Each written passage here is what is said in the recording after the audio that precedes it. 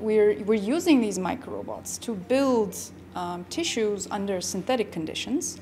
And the whole point of this is to, in the future, then repair um, damaged tissue or organs um, at a really patient basis. So if I can sort of like, you know, manufacturing cars in a um, robotic uh, factory, I'm sort of imagining our micro robots really picking um, and placing very specific types of cells in a very specific type of um, architecture so that um, we can really tailor that tissue to the patient's needs.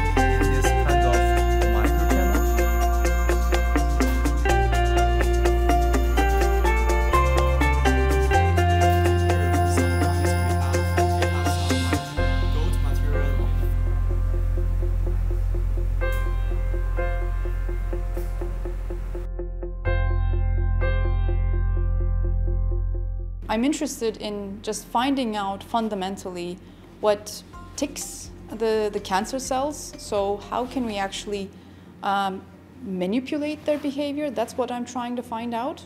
And once we have that information, then we can use that to, to, to generate better therapies.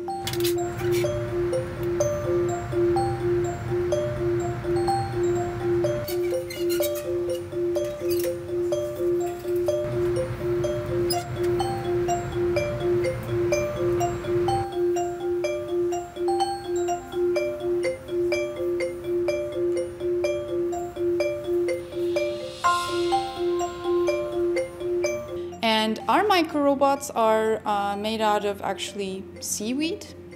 We have um, nanomaterials in there that allow us to bring functionality so that we can also wirelessly control these micro robots.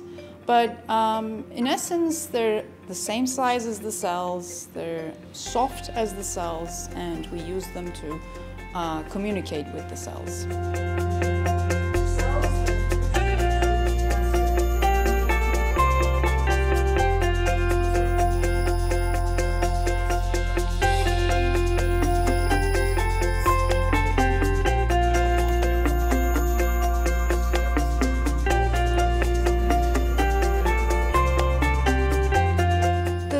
The taxi platform doesn't immediately help the patients, but it helps the, um, the bioengineers and the, the pharmaceutical um, research that's ongoing. Um, so in that sense, it's an enabling technology. Um, the more we find out about these cells, the more, um, the better we can actually design therapeutics.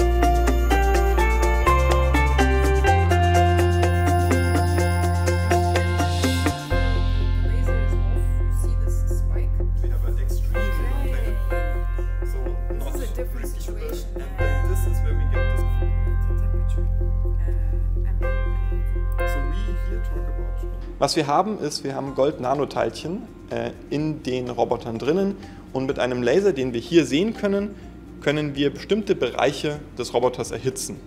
Und ich lasse das Video jetzt mal kurz laufen und dann sehen wir, wenn wir den Laser in die Richtung des Roboters lenken, dass der anfängt sich zu bewegen und so können wir den dann innerhalb der Zellverbände bewegen und zu anderen Orten fahren und so dann mehrere Zellen auf unterschiedliche Art und Weise äh, anschauen. Und